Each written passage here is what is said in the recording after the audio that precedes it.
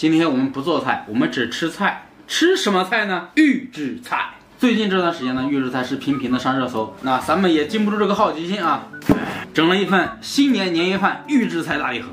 咱们这一箱二百五十六块钱，财源滚滚宴十二道菜。那这十二道菜呢，总共是金汤佛跳墙、松鼠鱼、猪肚鸡、糖醋排骨、红烧狮子头、咕噜肉、椰丝鸡柳、糟油鹅、咖喱鸡丁、鱼香肉丝、红糖糍粑八宝饭。二零二四春节年夜饭半成品套餐，平均一道菜的话是二十一块钱。那咱们今天就看看这个年夜饭预制菜礼盒味道到底怎么样。那我们首先打开啊，该说不说，这箱子倒是挺重的啊。这一箱呢，就是价值二百五十六元的年夜饭礼盒。这个场面的话还是比较壮观的啊！糟油鹅、佛跳墙、八宝饭、糖醋排骨、鱼香鸡丝、红汤糍粑、狮子头、咖喱鸡丁。这一盒是松鼠鱼、椰丝鸡柳、咕噜肉、胡椒猪肚鸡。那兄弟们，总共呢是十二道菜啊。为什么叫它预制菜呢？就是因为它吃起来方便，每一袋上面都有他们的食用方法。将锅烧热，然后加入适量的油，放入鸡肉丝炒至断生。加调料包炒匀，炒熟即可食用。这个松鼠鱼的话，我还是第一次吃啊。我现在把这些所有的东西都捋一捋啊，就是能加热的就加热，不能加热的就算。我仔细看了一下，有五样的话是需要蒸煮的，两样需要炒，两样需要炸，两样需要微波炉。那很简单啊，咱们走着。胡椒猪肚鸡放锅里，这个是糟油鹅，放锅里煮。佛跳墙放锅里煮，狮子头放锅蒸。八宝饭上锅蒸，还是红糖糍粑，简单的蒸二十分钟就够了。剩下的就是两个炒的，三个炸的。蒸煮的东西搞完之后，我们现在开始炒。锅中放了少许油，这个是直接下进去啊。鸡肉丝炒至断生，鸡肉丝断生之后，加入他们给配的料啊。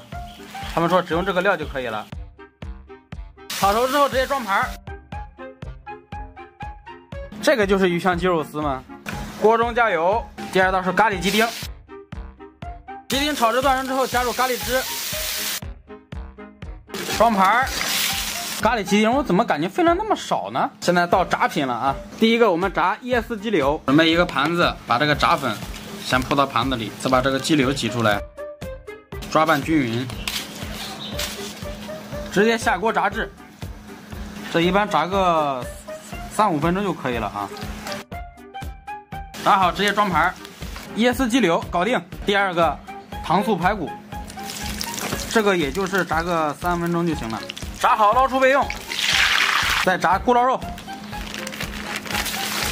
这咕噜肉炸两分钟就行了。捞出备用。最后一个松鼠鱼，松鼠鱼的话炸三到五分钟。现在我们把收尾做一下啊，锅烧热，倒入糖醋汁，排骨。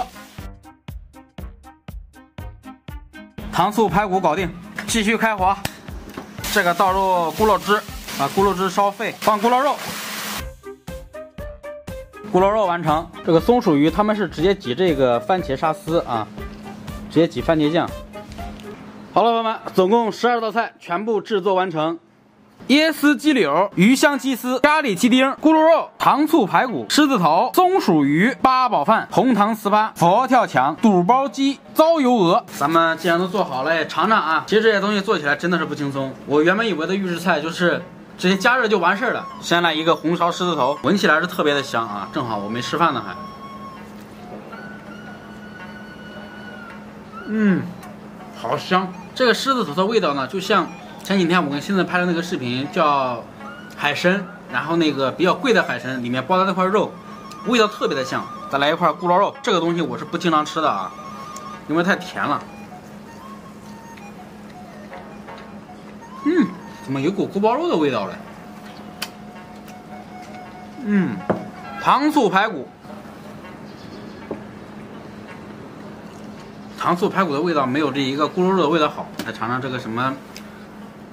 咖喱鸡块，鱼香鸡丝，哎，一个鱼香鸡丝，一个咖喱鸡块，这两个菜啊，就是我感觉还没有外卖上点的好吃呢，但是可以吃的。这个叫椰丝鸡柳，这个味道还不错。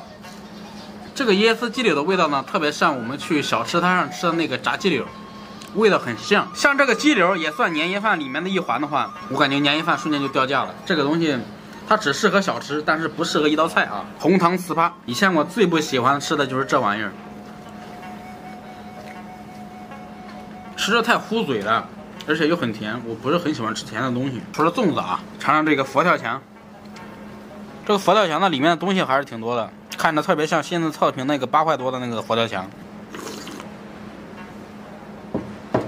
佛跳墙没什么口感，并不是说特别的好吃，就是简单的咸汤勾上淀粉，然后加点海鲜，佛跳墙也就那样啊。这个佛跳墙的味道特别像那个不放胡椒的肚丝汤。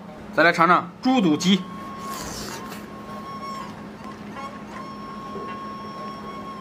味道一般。甚至有点发腥，糟油鹅，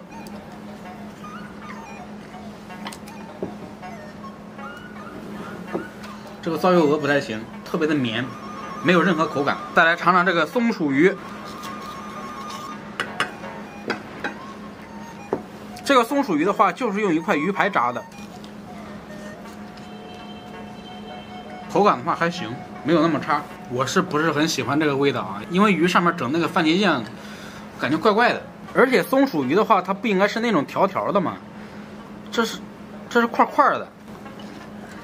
那严格来说，这个东西都不能算是松鼠鱼了，这就是炸鱼排。最后一道啊，就是八宝饭。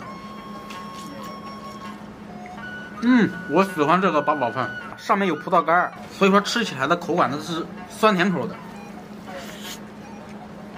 就是在糊嘴了。